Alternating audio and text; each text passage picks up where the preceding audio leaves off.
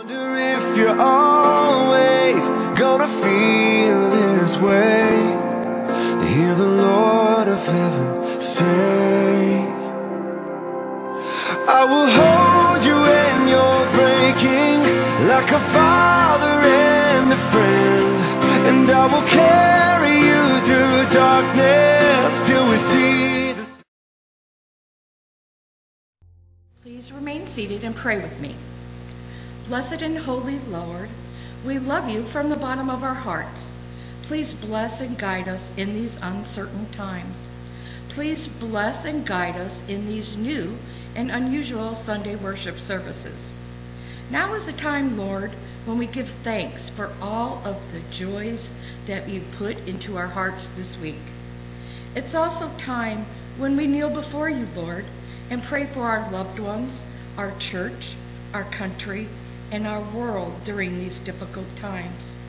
For all those suffering and for all those lost, we ask our Holy Lord that you be with them and gently guide them out of this valley that they find themselves in. Glory be to you, Holy Jesus, the Father, and the Holy Spirit.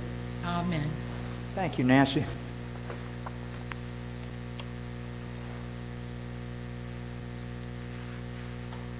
Just a show of hands, I'm just going to embarrass everybody, I don't care. Raise your hands if you're keeping up with the Bible in a year. That's two more than I thought there'd be. It is difficult, it's a marathon, but I certainly encourage you to try because the, the benefits, the blessings are, are just phenomenal. They're really great. But anyway, if uh, you, so you, if you haven't read it, you'll have to uh, just kind of fill in the blanks to where we're at. Uh, last couple of weeks we've been reading 1st and 2nd Samuel. So that's pretty much what the sermon is about today. And I'm going to borrow the title from uh, the, uh, the study we did on the book that covered the Bible. Um, and when we got to this point, it said standing tall and falling hard. And I thought that was just an absolutely perfect title for uh, this particular section of the book. There's this little app out there that you can get for your cell phones. And it, it's designed basically for the rich executives that have these administrative assistants or secretaries. And these administrative assistants usually are the ones who control the calendars for these rich, rich guys. But there comes times when uh, they don't know if their boss wants to accept uh, uh, a particular meeting or a golf outing or just whatever. So they get on this little app and they send him a message on his phone, and he has three options when he responds back. He can accept it, he can maybe it, or he can decline the invite. And in the business world, this is a really, really cool little device. But I think that God gave us this device so that he could use it. So because even though we're not rich, not too many of us here, God sends us calendar invites all the time. And I believe that's exactly, and if you, re, if you think about it, those calendar invites, we have exactly the three options that the rich guys have when we respond back to God. We can accept the invite, we can say maybe, or we can decline it. One of the characters in our story today is named Samuel. Samuel was a guy who always clicked except whenever God sent him a calendar invite. Samuel was a very unique spiritual and political leader of the Israelites. He was the last in the line of judges. He was a priest. And he was a prophet. He took messages from God to the Israelites. And if you kept up with your reading, you'd know that he also had a rather miraculous beginning, being born to a previously infertile mother. Just an interesting side note about 1st and 2nd Samuel, if you, if you don't know these things. Um, the book was actually written as one book, but about one uh, century before Jesus was born, the scribes were transcribing the book into the Greek. And about halfway through, they just stopped and started a second book because they wanted it to all fit nice and neatly on two scrolls, normal size scrolls. So if you ever wonder how your Bible got written in the format that it was written, it's little stories like these, little trivias like these that you might want to look into because it's really very interesting how that format come about. But anyway, as I said, Samuel's mother was infertile. And one day she was praying in the temple. And Eli happened to be the, the head priest at the time. Eli, you might also know, is the namesake of my latest little four-legged fur buddy. So uh, I admire Eli. I think he, he was a great character and a great priest in the, uh, in the Bible. But anyway, Eli sees her praying. And she's praying with such passion that Eli thinks she's drunk. So I tell you all this only to ask the question, how often are our prayers so intense that somebody might think we're drunk? But I also tell you that the prayer worked except that Hannah wanted a son so badly that she made a deal with God if, or she told God, if you give me a son, I will give him right back to you once he's weaned. In other words, I will have him raised in the temple. And that's exactly what happened. So that brings up another question about our prayers. Are our prayers so intense that someone else or God is actually the beneficiary and not us. Eli, who, who raised Samuel, was a very, very devout priest, a very godly priest. But he was a very poor parent. Eli uh, had two other sons, and they both turned out to be shysters. Not Samuel, but the other two sons. You'll also remember from your reading in the Old Testament was this really cool exchange between Eli and Samuel about uh, Samuel believing Eli is calling him, and it happened three times. And it turned out that Eli finally realized it was God calling Samuel. And it's so totally applicable to the 21st century because how many times do we think in our own minds, was that inspiration from God or something I concocted in my own mind? So anyway, fast forward a little bit, and it's time for the Israelites to do battle with the Philistines. And the Israelites, they lose this particular battle. And Eli's two sons are killed in the battle as foretold by Samuel. But the most interesting thing about this particular battle was the fact that the Philistines had captured the Ark of the Covenant. And then the stories get really cool. They carry it back and they put it into their one of their temples, uh, right next to one of their little G gods. And this didn't set too well with our Lord. So after knocking it over a couple of times, finally he just crumbled the tem temple all the way to the ground and he set a plague on all the Philistines in the area.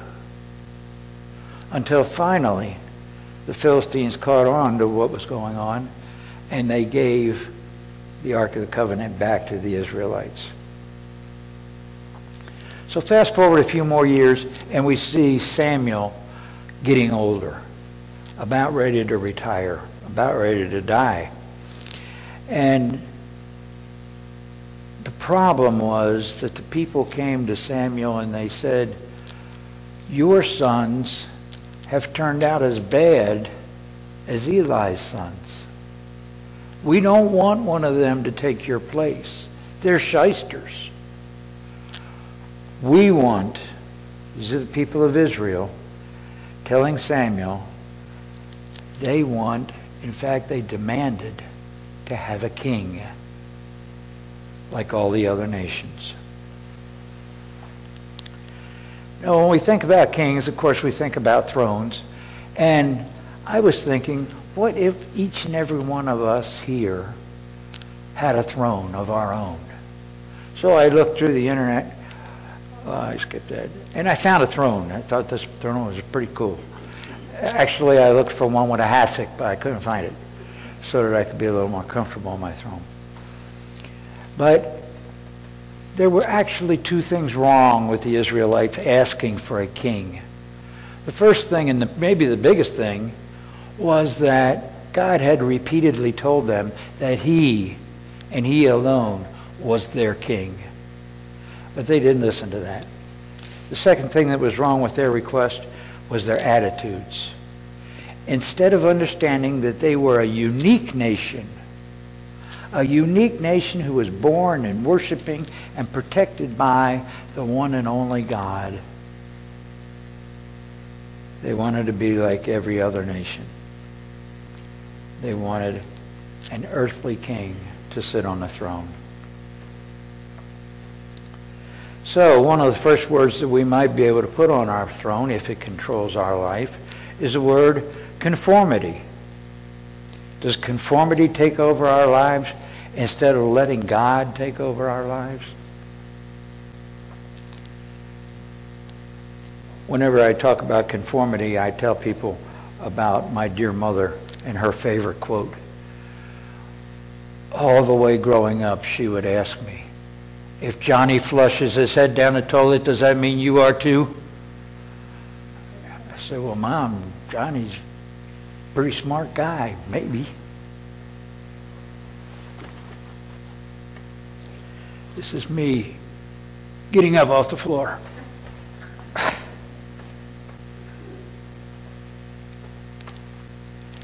Anyway, this is the position that the Israelites were taking right now. They wanted a king, just like all the other countries. They wanted to be like everybody else. And after our Heavenly Father's anger settled down, he finally decided to give them exactly what they wanted, just to teach him a lesson. And I honestly believe that this story is exactly where our earthly fathers learn this strategy. The kid's at home with dad, and kid cries and cries and cries and cries. He wants candy. And dad can't take it anymore, so he goes and gets a full big bucket of candy and gives it to the kid. Half hour later, the kid comes crying back. My tummy hurts. Well, duh. It might seem funny, but ask yourselves, how many times in your life have you prayed for something that you got that didn't work out too well?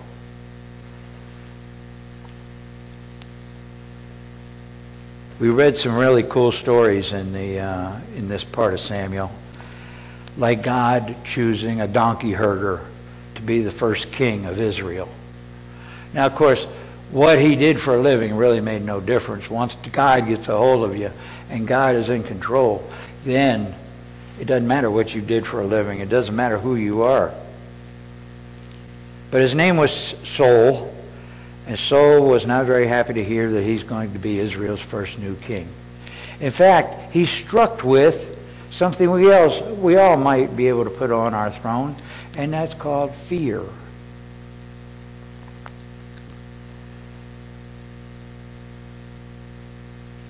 Is that what's on our thrones when God sends us a calendar invite? We're afraid. So the lesson so far to remember is if we're leaving God in charge of our lives, we don't have to worry about conforming to everybody else. We don't have to worry about fear. But it didn't take very long for Saul to pick up another bad habit that we humans are really famous for, and that's called pride. He put pride on his throne, forgetting where his and our anointing actually comes from.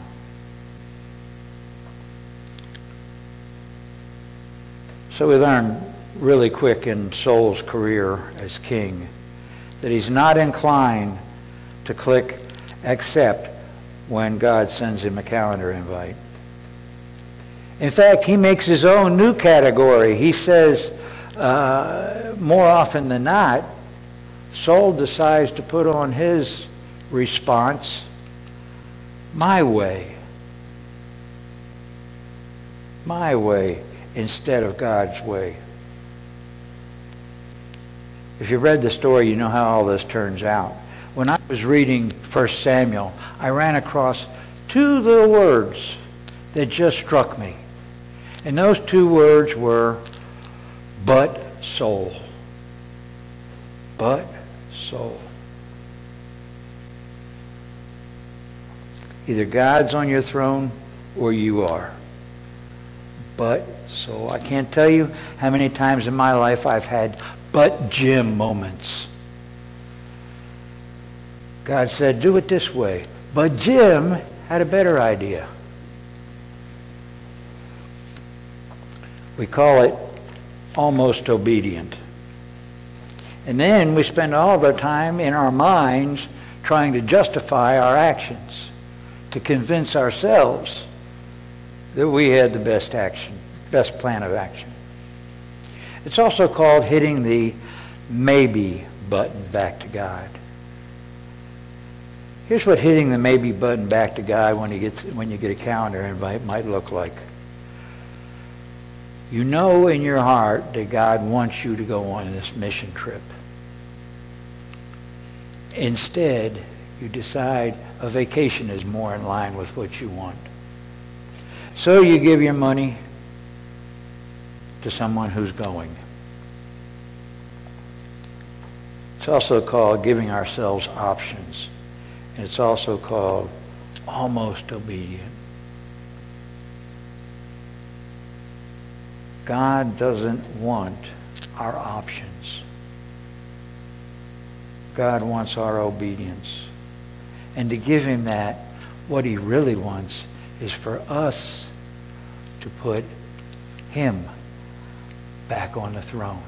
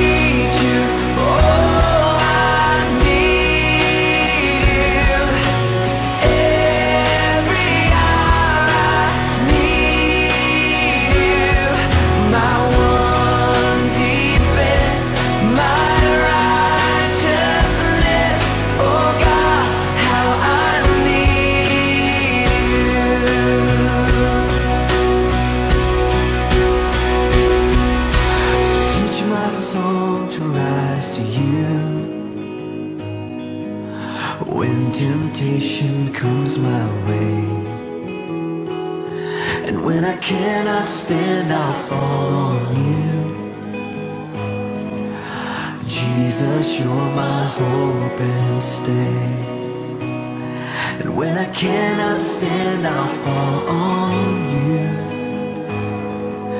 Jesus, you're my hope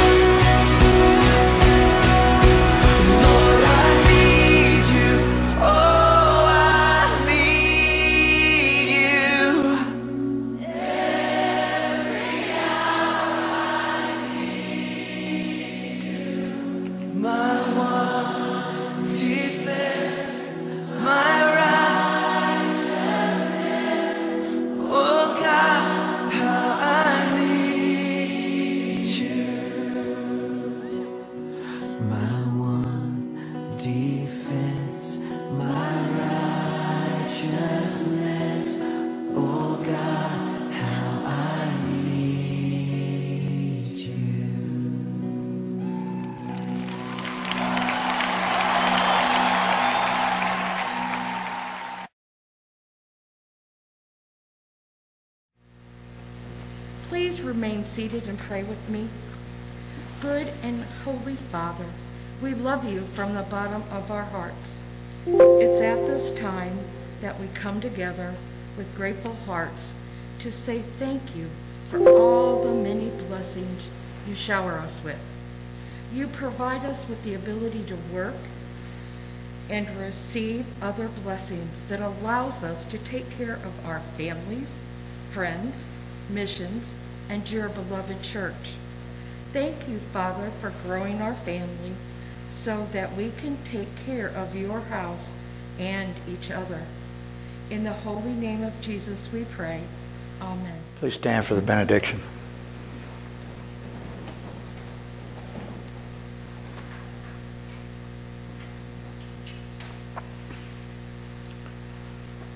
Good and gracious Holy Father, we love you from the bottom of our hearts and we thank you for this day. We thank you for the opportunity every week to not only come and to worship you, but to come to this place where we can have fellowship with one another. Fellowship we have found of late is so very important in your world. We have found of late that we have to come here and be together so that we can lift each other up and be lifted up. So that we can love one another and be loved. A place where we can be the hands and feet of our Lord Jesus until he comes again. Thank you for these Sunday mornings. Thank you for this opportunity to worship. Thank you for this opportunity to fellowship. May the grace of our Lord Jesus Christ, the love of God, and the fellowship of the Holy Spirit be with you all. In the name of the Father, and of the Son, and of the Holy Spirit. Amen.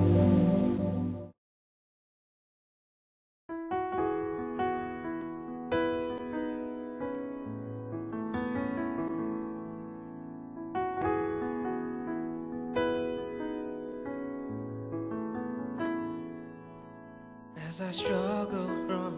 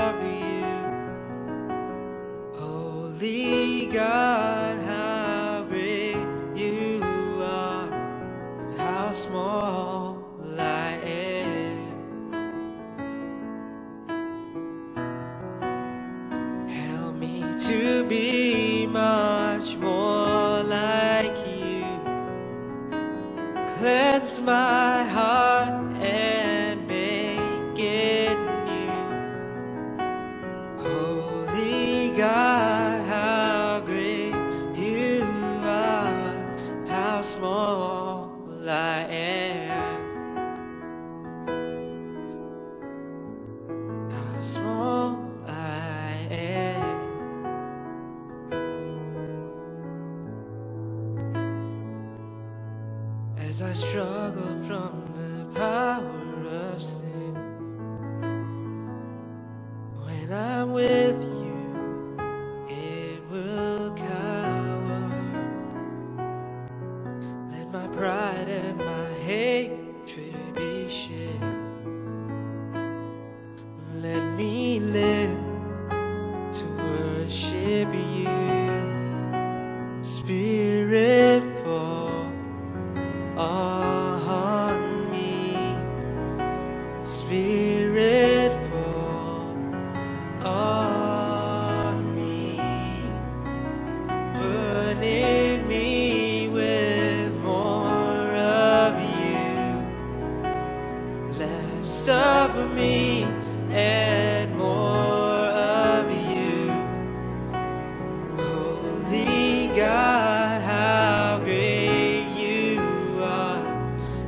small.